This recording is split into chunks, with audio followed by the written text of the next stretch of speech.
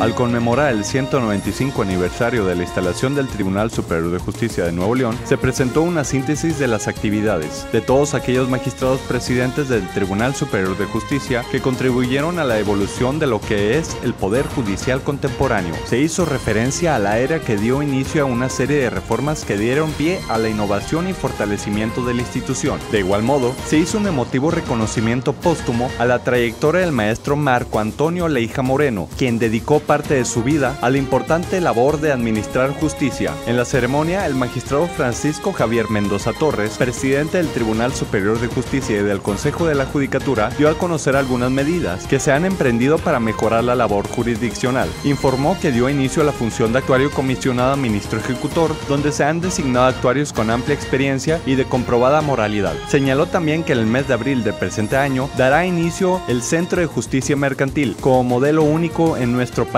para atender los asuntos de esta materia. Además, dio a conocer que por determinación del Pleno del Tribunal Superior de Justicia se tomó la decisión de reorganizar la operación de las salas que lo integran con la finalidad de agilizar el dictado de las sentencias de segunda instancia, lo anterior mediante el cierre de las salas colegiadas civiles y el traslado de su competencia a las salas unitarias de la misma materia. Precisó que esto permitirá reducir de 113 a 60 días promedio la resolución de asuntos, mejorando la eficiencia en un 46%. En el año 2013, los plenos del Tribunal Superior de Justicia del Consejo de la Judicatura del Estado instituyeron el 10 de enero como el Día del Poder Judicial del Estado de Nuevo León.